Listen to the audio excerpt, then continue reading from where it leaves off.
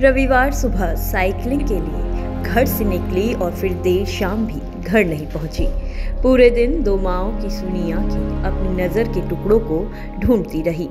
कोई तो ला दो कोई तो हमारी बच्चियों को ढूंढ दो कहते हुए दोनों माएँ बिलख बिलख कर रो रही थी। लेकिन उनकी सुनने वाला कोई नहीं था। बच्चों के बिछड़ जाने का गम क्या होता है, ये एक माँ से ज़्यादा और कोई नहीं जानता।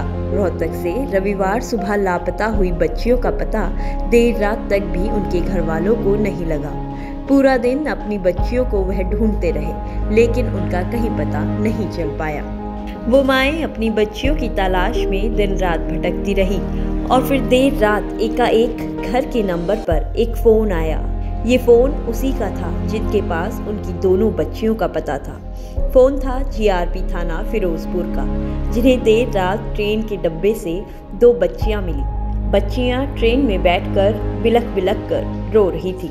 लेकिन फिर भी जो है ना बताऊँ आपको ये आठ बजे हमें पता चला है वहाँ से कॉल आई है फिरोजपुर बच्चा मिला है। मतलब दोनों बच्चियाँ फिरोजपुर में ही जाके मिली। अच्छा किसकी कॉल आपको आई और किस तरह से आपको पता चला उसके बाद किस तरह की कार्रवाई की? वो जीआरपीएफ वालों की यहाँ पे कॉल आई है हमारे पास और उन्होंने बताया कि आपकी दो बच्चियाँ हमारे पास वीटी आई हुई है कि भाई यहाँ पे हमारे पास मैसेज आया हुआ है और हमें ये दो बच्चियाँ बरामद हुई है ट्रेन के अंदर बैठी ये रो रही थी। अच्छा। तो हम उनको वहाँ जीआरपीएफ के कैंप में वो अपने उसमें लेके आए हैं और उनको जो है ना वहाँ पे उन्होंने ठीक ढंग से बिहेव भी किया खाना वाना खिलाया और बच्चों को वहाँ सुला दिया था हमें इन्फॉर्मेशन कर दी थी। नाबालिग बच्चियों के गायब होने के पीछे भी बहुत रोमांचक कहानी है। आखिरकार कैसे ये बच्चियाँ रोहतक से पंजाब पहुँच गई, वो भी दो बार ट्रेन बदल कर और दिन भर बच्चियों के साथ क्या क्या घटा, आप भी सुनिए। मैं का चाचा हूँ, और जो है वो गुड़िया सुबह सुबह साइकिल के लिए यहाँ से घूमने के लिए निकली है। एक पड़ोस में जो उसकी सहेली है, उसके साथ पढ़ती है तो वो दोनों ही यहाँ से साइकिल के लिए निकली है। तो उसमें जो है साइकिल में, एक साइकिल पे हवा नहीं थी तो वो हवा भरवाने के लिए रोड तक गई।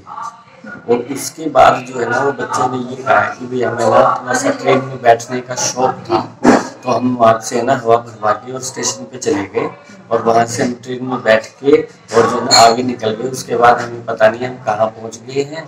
और उसके बाद का हमें ये नहीं पता, हमें ट्रेन भी चेंज की है और आगे जाके वो हमें यहाँ इन्फॉर्मेशन मिली है कि भाई प्रशासन ने यहाँ पे पूरे दिन कार्रवाई की है और पुलिस ने भी सीआईए स्टाफ ने भी अच्छी तरह से वो किया है।